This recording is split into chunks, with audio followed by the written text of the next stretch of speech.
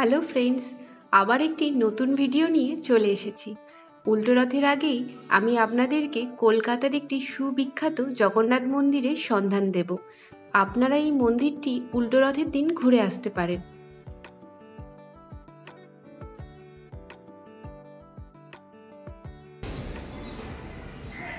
Hello friends, সবাই কেমন আছেন? নিশ্চয়ই ভালো আছেন। আজকে আমরা চলে এসেছি কলকাতার জগন্নাথ টেম্পেলে আমরা সবাই কম বেশি পুরীর জগন্নাথ টেম্পল ঘুরে দেখেছি। কিন্তু কলকাতাতেও যে এত ভালো একটি জগন্নাথ টেম্পল আছে, সে ব্যাপারে হয়তো আমরা অনেকেই জানি না। আজকে এই ভিডিওর মাধ্যমে আমি আপনাদের সাথে শেয়ার করে নেব এই মন্দিরটি কোথায় রয়েছে, মন্দিরের পুজো দেওয়ার নিয়ম নীতি কী রয়েছে, মন্দির কতক্ষণ খোলা থাকছে, সমস্ত কিছু। তাহলে ভিডিওটি স্কিপ না করে পুরোটি দেখতে থাকুন। এই মন্দির সম্পর্কে সমস্ত তথ্য এই ভিডিওর মাধ্যমে আমি আপনাদের সাথে শেয়ার করে নেব। প্রথমেই বলি, এখানে আসবেন কীভাবে? এই মন্দিরের সামনেই রয়েছে খিদিরপুর রেলওয়ে স্টেশন। মাত্র পাঁচ মিনিটের হাঁটা পথ মন্দির থেকে। তাই রেলপথের মাধ্যমে খুব সহজেই এই মন্দিরে চলে আসতে পারবেন।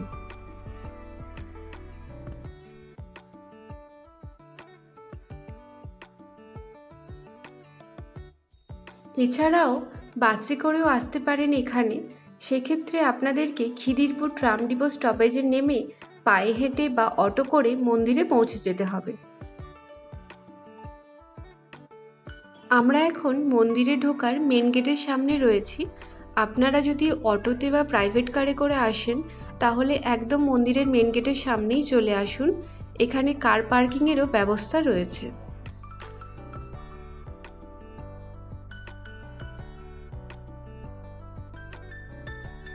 মন্দিরে ঢোকার মেন গেটের ঠিক বাম দিকেই রয়েছে জুতো রাখার জায়গা।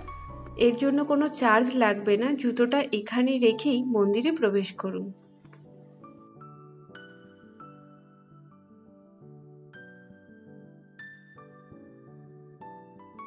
মন্দিরের মেন গেটের দুদিকে দ্বাররক্ষী হিসেবে রয়েছে দুটি সিংহের মূর্তি। মন্দিরে ঢুকেই সামনেই রয়েছে রাধাকৃষ্ণের মূর্তি। মন্দিরের চারিদিকের পরিবেশ খুব সুন্দরভাবে সাজানো গোছানো।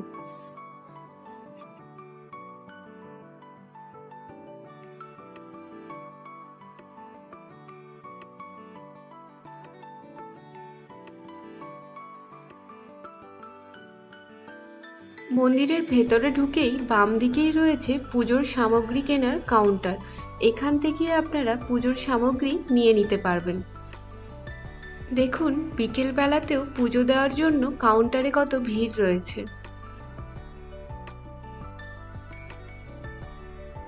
এই কাউন্টারের পাশ দিয়েই রয়েছে মন্দিরে যাওয়ার সিঁড়ি। মন্দিরটি বেশ সাজানো গোছানো, চারিদিকে ফুলের টব দিয়ে মন্দিরটিকে সাজানো হয়েছে। দেখতে খুবই দৃষ্টিনন্দন। আমরা মন্দিরের মেন গেটের সামনে চলে এসেছি।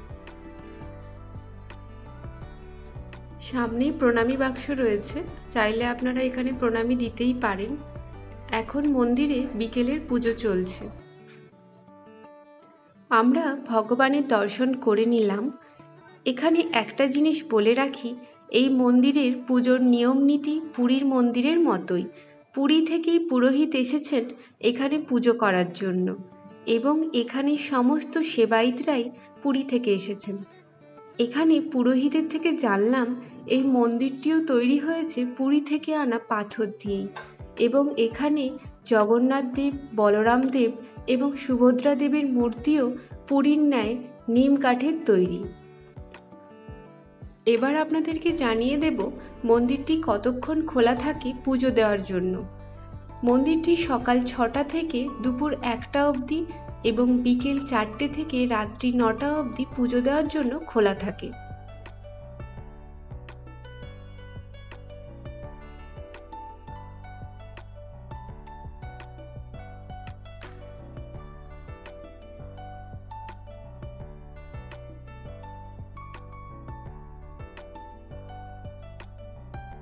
মূল মন্দিরের ঠিক পাশেই রয়েছে অনেকগুলি ছোট ছোট মন্দির। দেখুন, সামনেই রয়েছে গণেশ মন্দির। এর পাশেই রয়েছে সরস্বতী মন্দির। তার পাশে রয়েছে বিমলা দেবীর মন্দির এবং সূর্য মন্দির। এই সমস্ত মন্দিরগুলিতেই নিত্য পুজো করা হয়।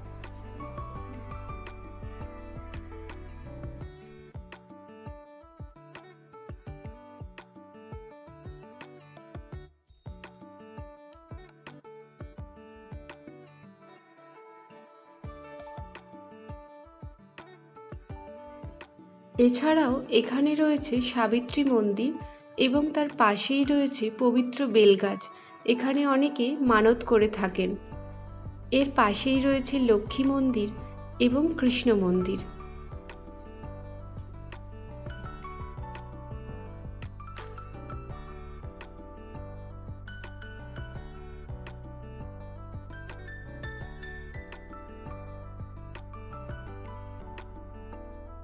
মেন মন্দিরে ঢোকার মুখেই রয়েছে শিব মন্দির।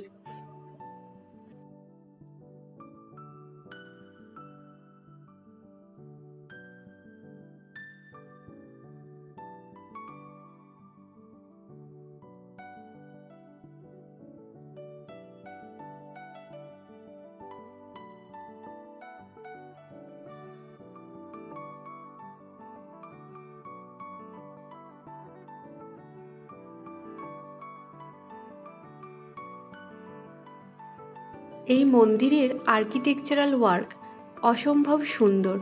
খুব নিপুণ হাতে পাথর খোদাই করে দেবদেবীর মূর্তি তৈরি করা হয়েছে মন্দিরের দেওয়ালে, যা এক কথায় অসাধারণ।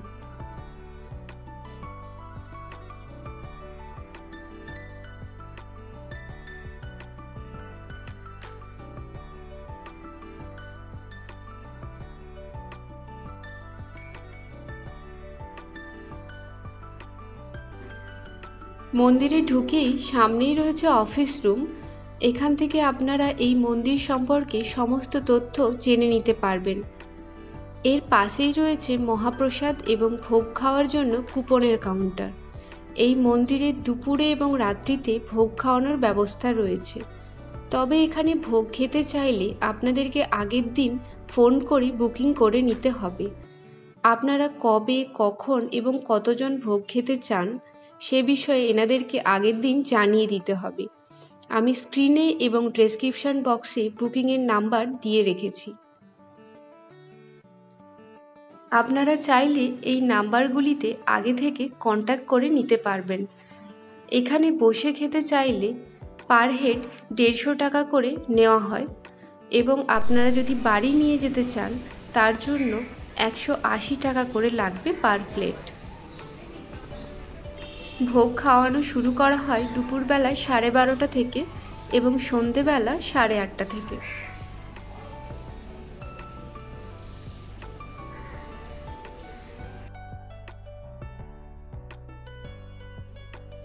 এখানে বিকেলেও প্রসাদ বিতরণ করা হয়, তবে এর জন্য কোনো কুপন লাগে না।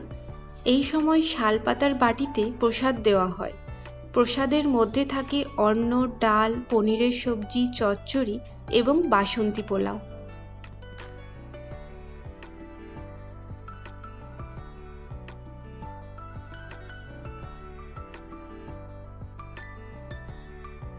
মন্দিরে ঢুকেই ডান দিকেই রয়েছে যজ্ঞস্থল।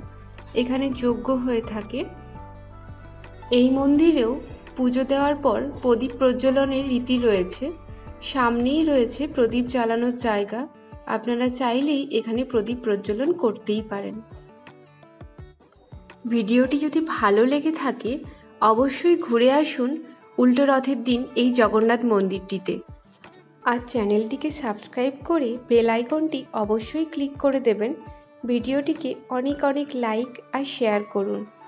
সবাই ভালো থাকুন, সুস্থ থাকুন। দেখা হচ্ছে পরের ভিডিওতে।